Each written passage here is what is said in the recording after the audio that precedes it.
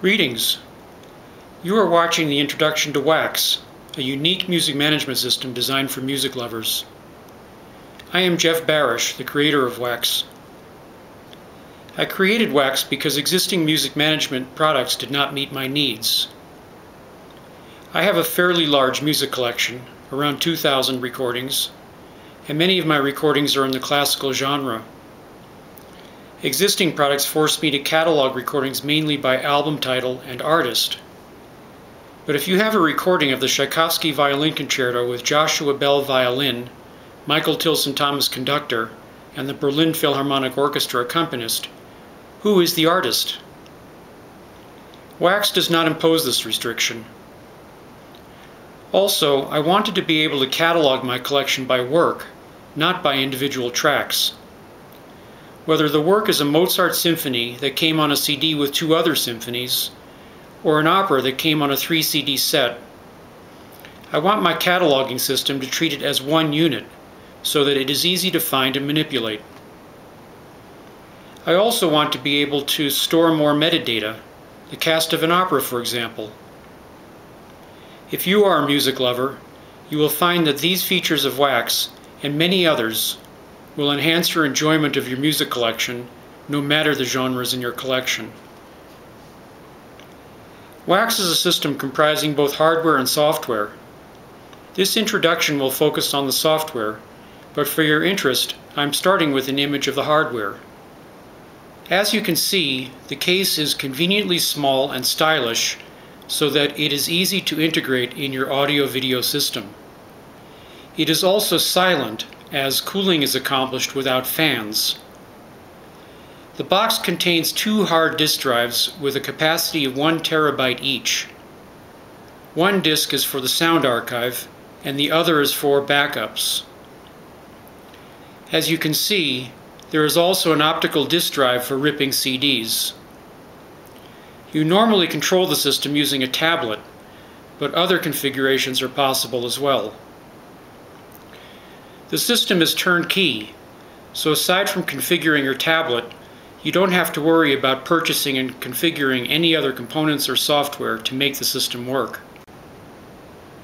The purpose of this introduction is to describe some of the unique characteristics of Wax and to demonstrate how easy and natural it is to operate the system.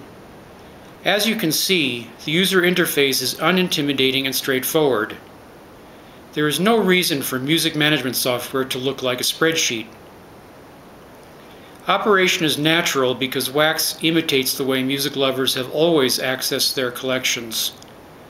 In my CD collection, for example, I had a section for symphonic works, alphabetized by composer, another for shows, alphabetized by the name of the show, a third for pop, alphabetized by the performer, and so on. In Wax, these sections of your collection are called genres. The first step in selecting a recording is to choose the genre. Once you select the desired genre, you will see a list of all the recordings in that genre. The list is based on a set of metadata tags unique to each genre. The symphonic genre lists recordings by composer, work, and conductor, whereas the show genre lists recordings by title, composer, lyricist, and date. This flexibility in the choice of metadata tags is one of the most important features of Wax. Wax permits you to define the set of genres, and for each genre, you determine the number of metadata tags that you will use and their names. Wax makes it easy to locate a desired recording because recordings are listed using a consistent format and they are described using metadata fields sufficient to differentiate the recordings. Simply scroll through the list of recordings to find the one that you want to play and then select it. When you select a recording, another panel appears listing the tracks in the recording. By default, they are all selected because it is most likely that you want to listen to all of them. Did you notice that a play button appeared as soon as you selected a recording?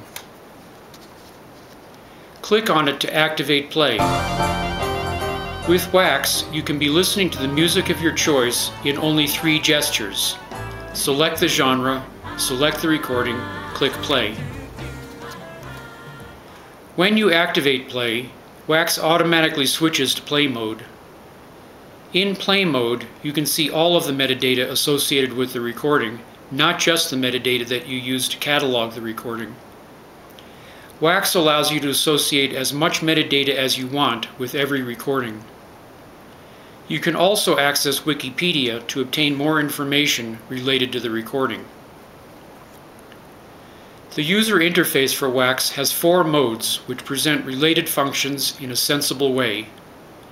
You can select the mode using one of the buttons that are global to all modes. Let's use it now to return to select mode. Notice that the recording that is playing now appears in the panel on the right. This panel represents the play queue. To add recordings to the play queue, simply drag them to the right panel. Also notice that you can view and manipulate recordings by cover art rather than metadata. Edit mode performs several functions. You can change the metadata that you stored previously for a recording, import recordings that you purchased as downloads or ripped on some other platform, or rip a CD. To rip a CD, select the desired genre and then click Read CD. Wax goes to sources on the internet to obtain as much metadata as possible for the recording. I hope that this short introduction provided a sense of how much Wax will enhance your enjoyment of your music collection. The website has information about other features, and it also provides a way for you to contact me with any questions. Thanks for watching.